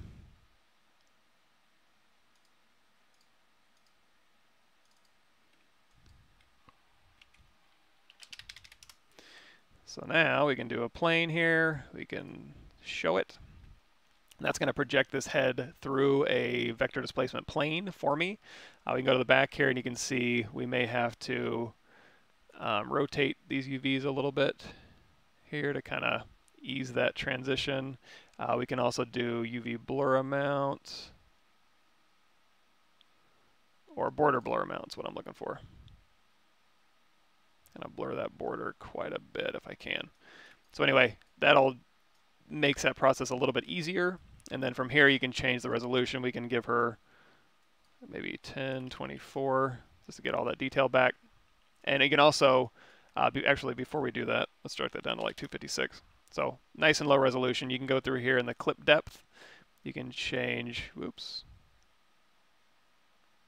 You can push the head out more or in more. It's a little bit choppy. So depending on how much of the head you want, you can dial that in. And then let's go here, let's say 1024, get our detail back. Perfect. Now let's export this. Oops. Goes the export and say you get sent back to ZBrush. So let me go back to ZBrush here. There's our vector displacement plane. So let's go ahead and say chisel 3D. And then we'll go into our brush. And we'll go down here to create. So this chisel 3D here, we're going to clone this off to get its settings. And then we're going to go through and delete all these meshes. Actually, we'll leave a couple around. And I'm going to go to from mesh. So now you're going to see whenever we have these selected, we have the little 3D in the corner. So now, if we grab a polyplane. Make polymesh 3D, subdivide this thing up, and then we can take our head, whoops, there we go. We can take our head and pull that through, or this ear. Oh, that's a bit weird. Not sure why it's doing that. The head works. uh, let me see. Brush, Chisel 3D creature. Huh, when I added this one to the other, the duplicated Chisel 3D, it kind of kind of busted it a little bit. I'm not quite sure why I did that. But anyway, that's probably how I would do it. Now it does, it is doing some pretty crazy stuff around the geometry, so you can go through here and you can smooth this out. Um, or you can play with those settings in Houdini and see if you can get a better result. But that's how I would do it. Uh, how, so how do I make a good texture to fit the blocks, clumps of hair? Oh boy, um, you can try doing like that strand we did. Do we still have that one from the beginning of this episode? Um, no, no, no, no, no, no, no, no. Uh, where basically you have the multiple strands and then you drag those out and you can go through and change them and then you can just capture those strands kind of overlapping and stuff. You can capture that height, you can capture that occlusion, you can capture that texture uh, on your document, and then you can use that to uh, capture to a hair plane, or you can use that to capture your hairs and then apply that to a plane.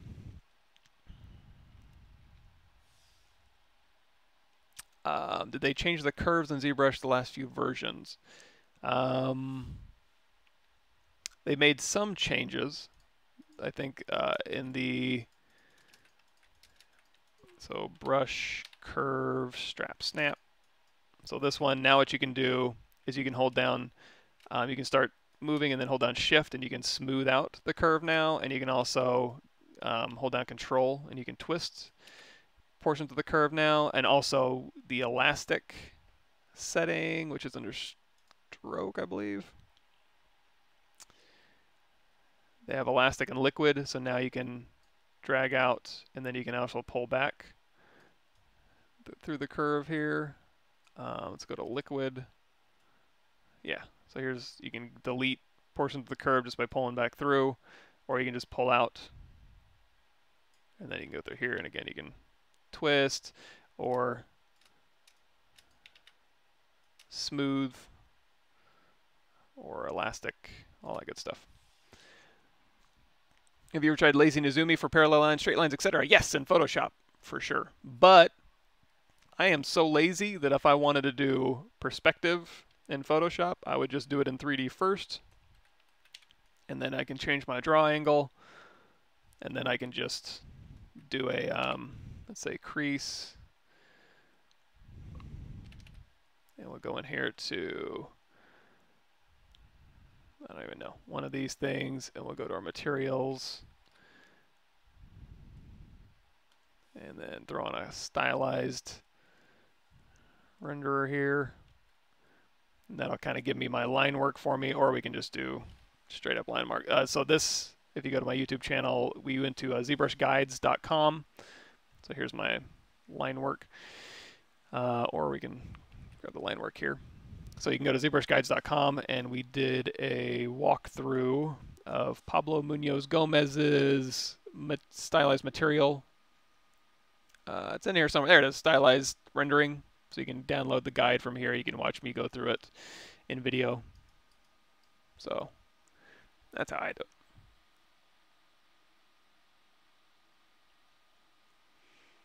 it. Um, IMM draw size can't seem to get the slider to go above 10 millimeters. Is that the size limit?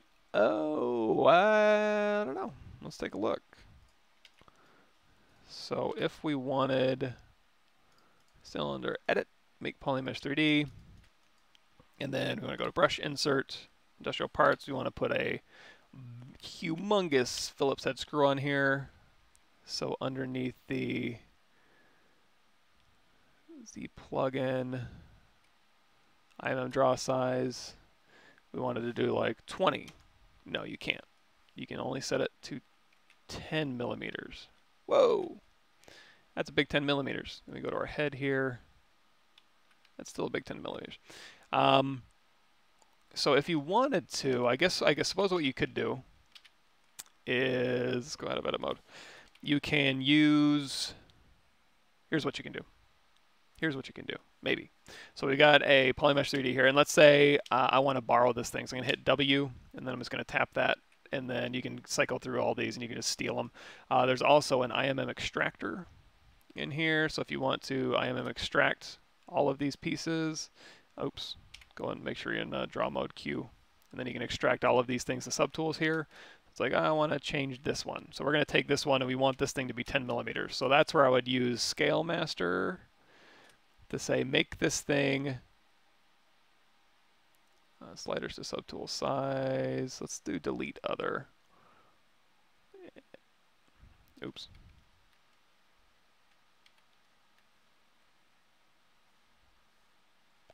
Make polymesh 3D. W, grab this one. I'm going to unify this. And now we're sitting here with this thing, and we're going to see Calculate size, select some of the generic units, then converts to millimeters. So we have millimeter set scene scale, value in X. So let's say we wanted to do 15 millimeters, set scene scale.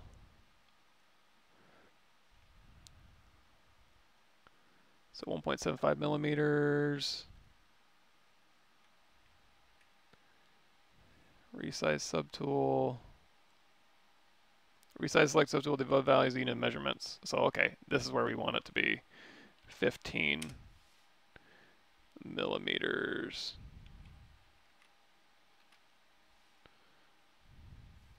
So now if this thing is 15 millimeters, then you wouldn't want to make an insert mesh brush out of this. You would essentially want to append it and just move it around. Or once you've done that, uh, it's like, okay, this is 15 millimeters, then I suppose you could set your brush size to match this, but I don't know how exact that would be.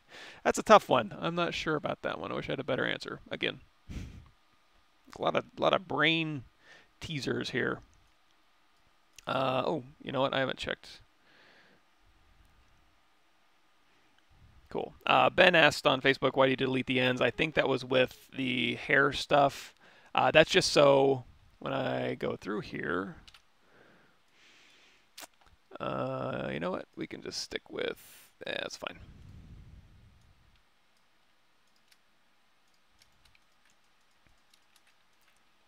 So when you go through here, actually let's do this.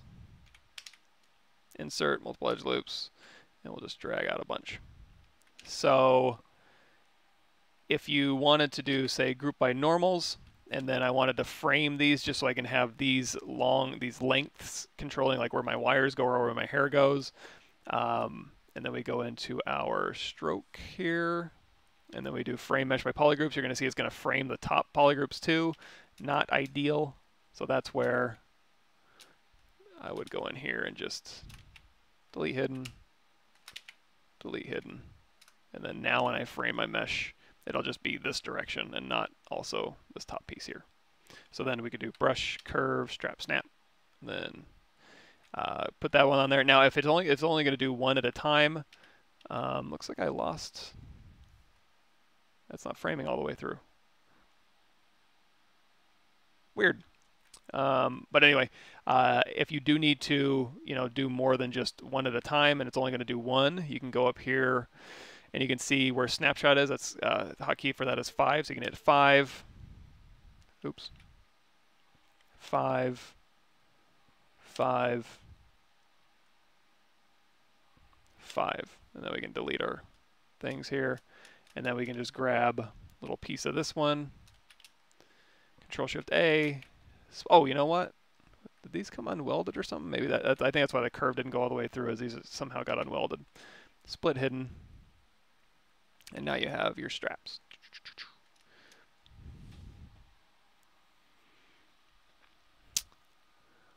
And then, yeah, so Babu's talking about on this thing here, turning off your dynamic draw size.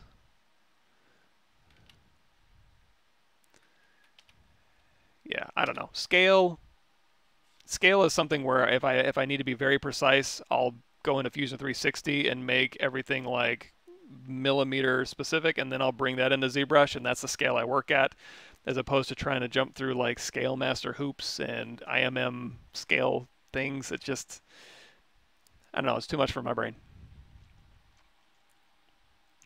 Do you use the GoZ plugin? Uh, yeah, we just use it for Houdini. I don't use it a lot. Um, but occasionally, depending on the type of work I'm doing, I'll use GoZ. Uh, but usually I just stay in within ZBrush most of the time. Do you still stream on your own channel? I should. Uh, this month has been horrendous, and next month is also going to be horrendous. So we're in August, though, right? September, I'm pretty much hosed. After ZBrush Summit, September 27th, October, I should be back on track. I'll have a bunch of cool stuff to show you guys. Um, we'll we'll be back. I'll be back. Give me another month, and then I'll hopefully I'll have enough time to get these videos out too. I've I've just been sitting on them for months. Um, yeah, I'm not sure when my next stream is. I'm gonna have to say my next stream is probably gonna be in October. I need I know I need to be back on more, but I apologize. I do. Alrighty, it's eight o'clock. Uh, I'll let you guys get back to your regularly scheduled lives. Thanks for showing up, everybody. hopefully that was worthwhile, and uh, I'll be back and we'll have some more specific project stuff to work on, I think, come October. But um, cool. Thanks, everybody. See you next time.